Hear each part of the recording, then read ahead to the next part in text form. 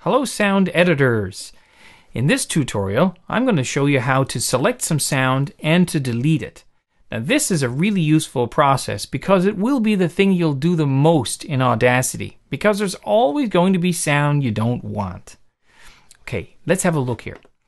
I've got a recording of me playing the fiddle from a couple years back. Let's have a quick little listen to the beginning.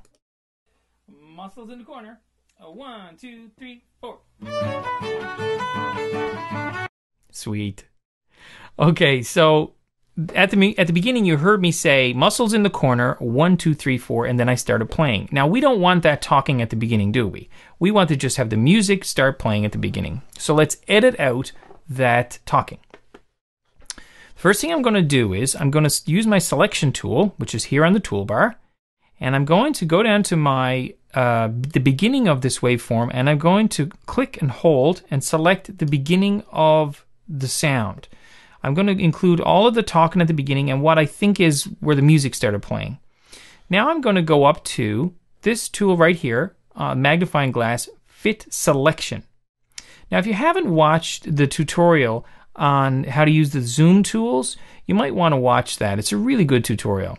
Okay, here we go. I'm going to hit fit selection, and that puts all the, the sound I just selected into that window. Now let's hit play and have a listen to it.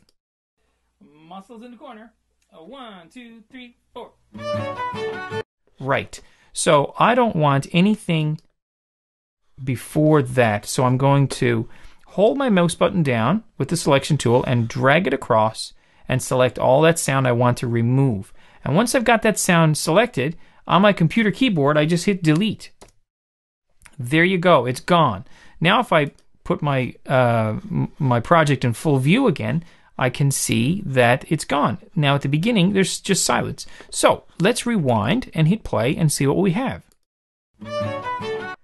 There you go, it's gone. That's as easy as that. So, selection tool, select the sound you want to remove, delete key on your computer. And be, of course, make sure you use your ears as well. It's nice to use the visuals, but it's also good to preview and listen and make sure you're making the right selections with your ears.